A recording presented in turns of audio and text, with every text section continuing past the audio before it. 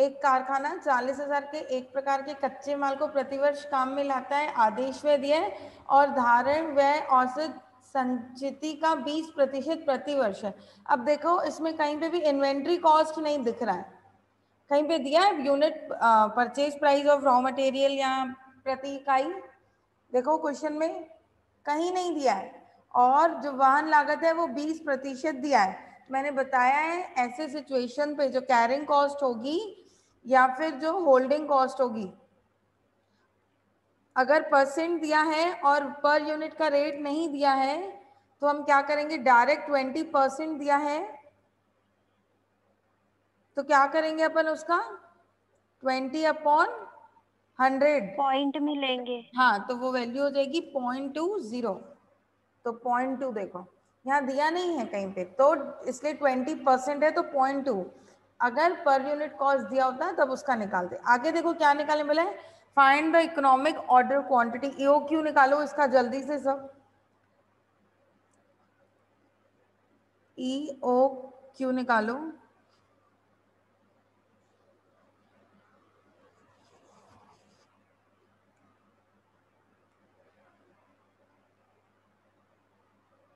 क्या निकाले? E O बताओ। Two into R into C O upon C H क्या है ऐसे?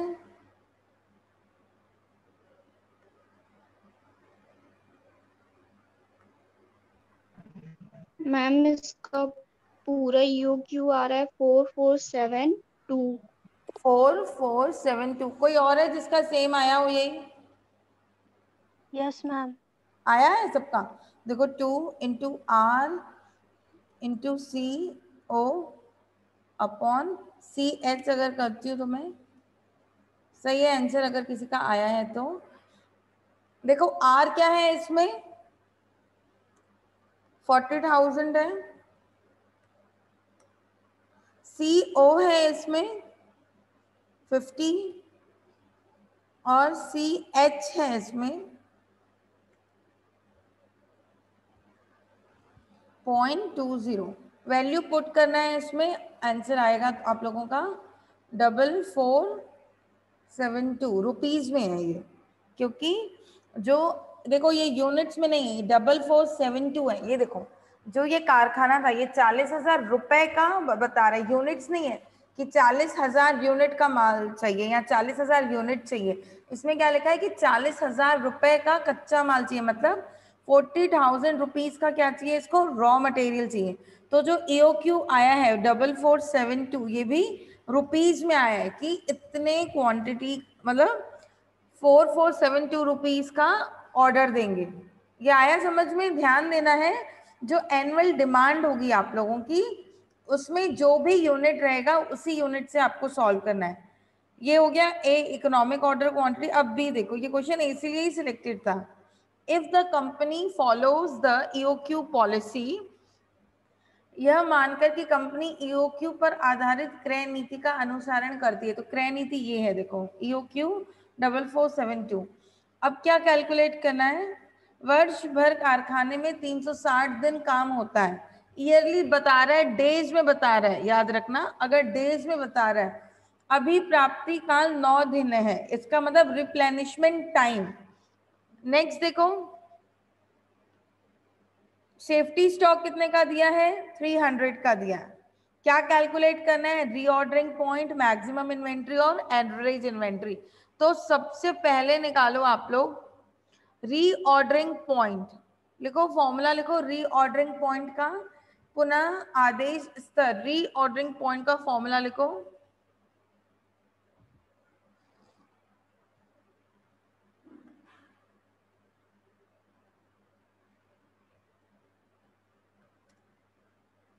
रीऑर्डरिंग पॉइंट का फॉर्मूला है, देखो सेफ्टी स्टॉक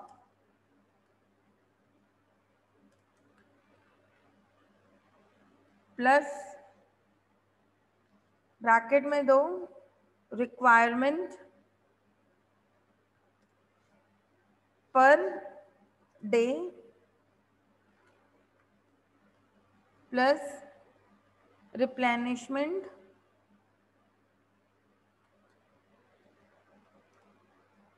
time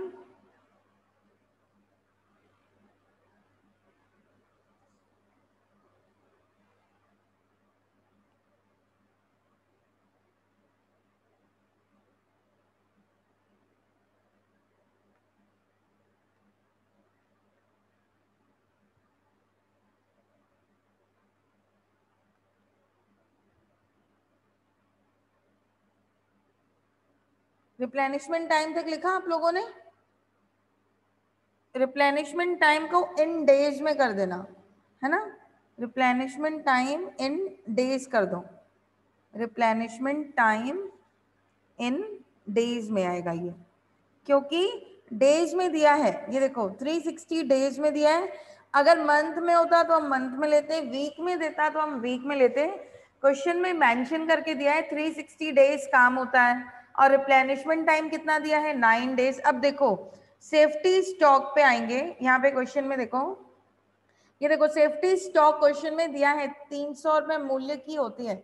सुरक्षा संचिति सेफ्टी स्टॉक कितना दिया है? थ्री हंड्रेड दिया है। फिर प्लस करो ब्रैकेट में लो। रिक्वायरमेंट पर डे एक दिन का कितना रिक्वायरमेंट होगा? देखो तो चालीस हज़ार साल भर का है तो अगर एक दिन का रिक्वायरमेंट चाहिए तो मैं इसको डिवाइड कर दूँगी। साल में कितने दिन काम हो रहा है? 360 दिन। अगर ये 360 डेज़ भी नहीं लिखा होता तो हम 365 लेते हैं क्योंकि साल में तीन सौ पैंसठ दिन होते हैं। फोर्टी थाउज़ेंड को डिवाइड करोगे 360 से अब देखो। रिप्लेनिशमेंट टाइम इनटू डेज़ करो 40,000 को डिवाइड करो 360 से कितना आएगा बताओ? Ma'am one one one point one one आ रहा है। इनटू करो नाइन से।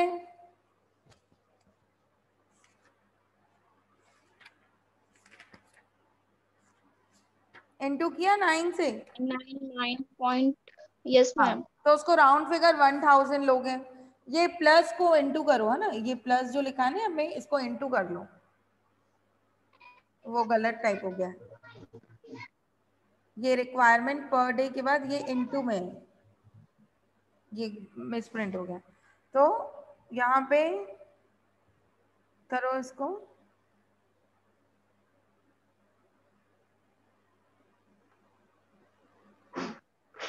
आया सबका? One thousand yes sir mike mute करो बेटा। किसका माइक ऑन है? म्यूट करो। ये देखो। तो ये आंसर हो गया तुम लोगों का। टोटल करो कितना आया? Three hundred plus one thousand हो जाएगा। ये हो गया thirteen hundred rupees reordering point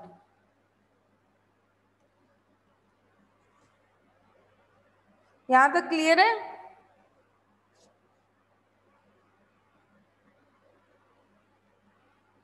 next देखो क्या निकालना है? रीऑर्डरिंग पॉइंट के बाद। मैक्सिमम इन्वेंट्री फॉर्मूला लगाओ मैक्सिमम इन्वेंट्री का।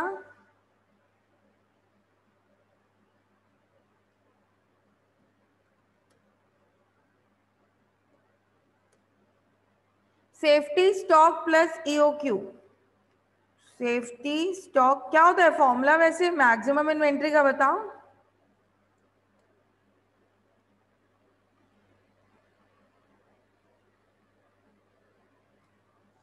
सेफ्टी स्टॉक प्लस ईओक्यू लेंगे हम। मैक्सिमम इन्वेंट्री का फॉर्मूला।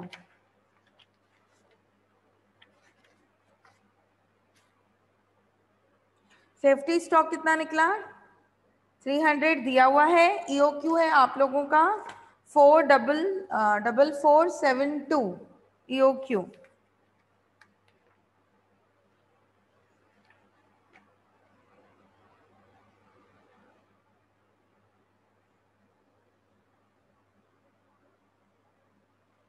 safety stock लो 300 प्लस ईओक्यू कितना है?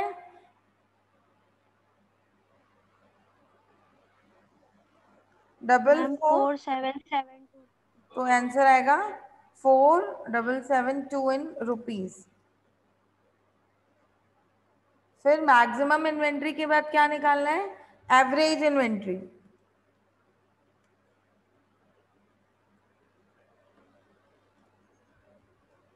देखो बुक में ये वाले फॉर्मूलाज नहीं दिए हुए हैं। एक ही चीज़ को कैलकुलेट करने के दो से तीन फॉर्मूला होते हैं। तो जैसे रीऑर्डरिंग पॉइंट का ये वाला नहीं दिया होगा बुक में, जैसे मैक्सिमम इन्वेंट्री का ये वाला नहीं दिया होगा। तो आप लोग अपने फॉर्मूले वाली जगह पे ये फॉर्मूला नोट कर लेना, जो एक्स्ट्रा में है।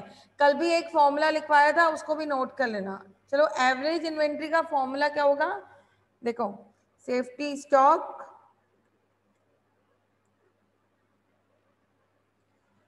plus maximum inventory upon 2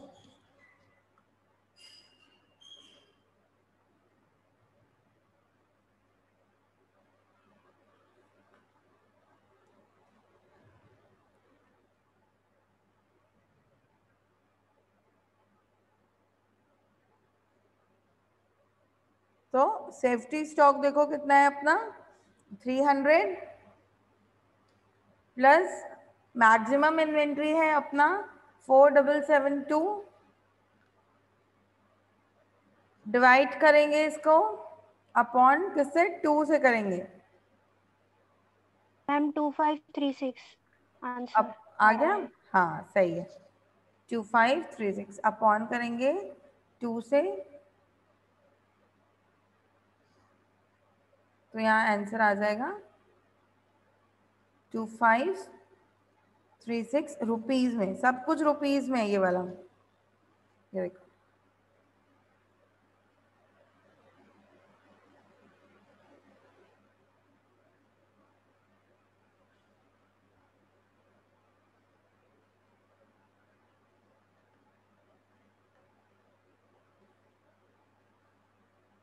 किसी को डाउट किसी भी फॉर्मूले में?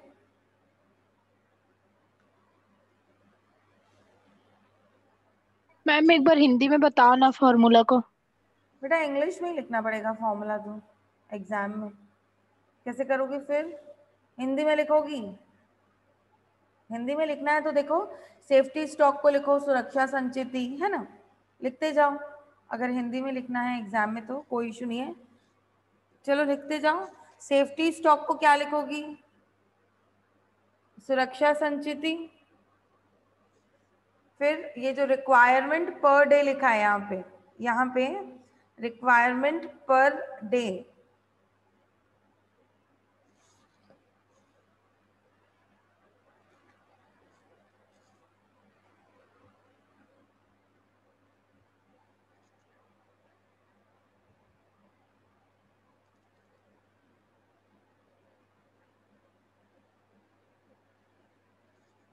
लिखा सेफ्टी स्टॉक का सुरक्षा हाँ मैम सुरक्षा संचिति रिक्वायरमेंट पर डे का लिखो आवश्यकता प्रतिदिन मतलब एक दिन का कितनी आवश्यकता रहेगी? प्रतिदिन आवश्यकता इसको लिखना इनटू का साइन देना फिर क्या लिखा है? रिप्लेनिशमेंट टाइम यहाँ देखो हिंदी में दिया है रिप्लेनिशमेंट टाइम को क्या बोलते हैं? अभिप्राप्ति काल. ये अभिप्राप्ति काल. लिख लिया? हाँ मैम। हो गया? और किसी का बताना है हिंदी में?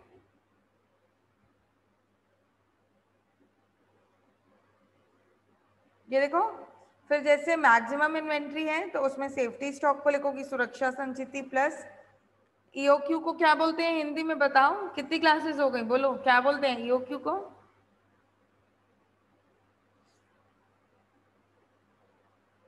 मित्र मित्र वह आदेश मात्रा है ना? आदेश मात्रा बोलते हैं। हाँ।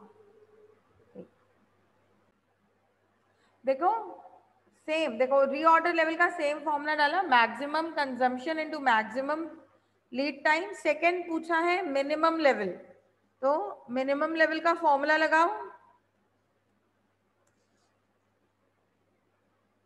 रीऑर्डर लेवल माइनस क्या है फॉर्मूला याद नहीं है बेटा आप लोगों को?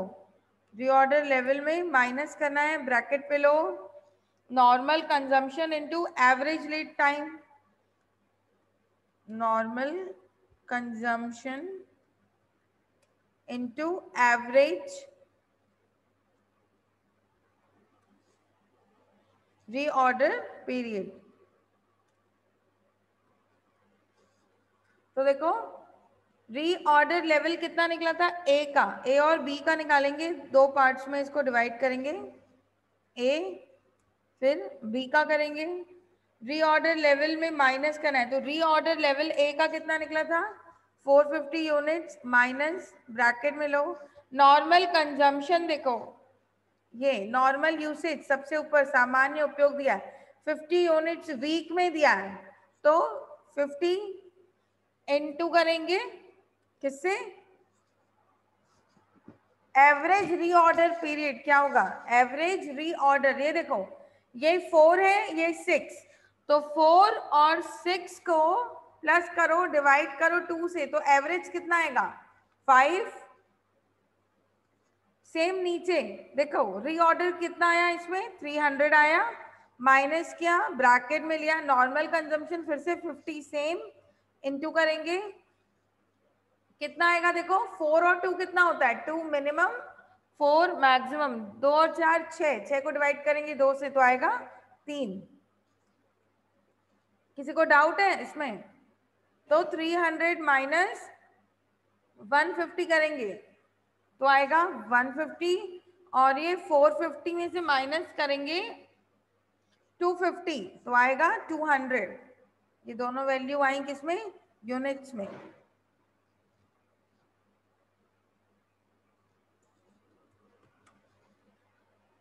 किसी को डाउट है यहाँ तक?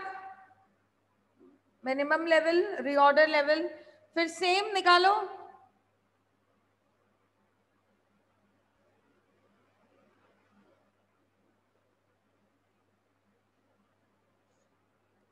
किसी को डाउट है? नो मैम क्लियर है? नेक्स्ट हाँ मैक्सिमम लेवल का फॉर्मूला लगाओ जल्दी से। मैक्सिमम लेवल फिर निकालो ए निकालो अलग से, फिर बी का कैलकुलेट करो अलग से।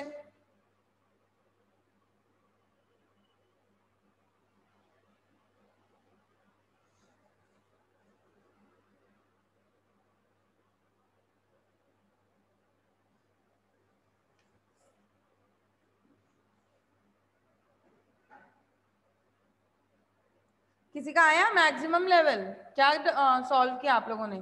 Reorder level minus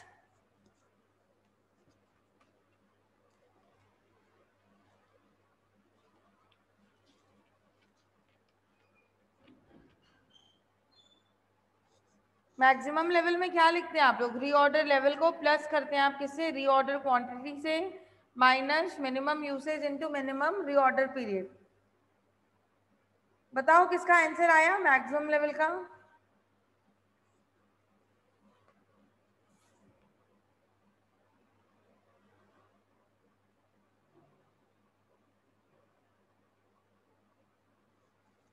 फिर इसके बाद निकालना आप लोग average stock level average stock level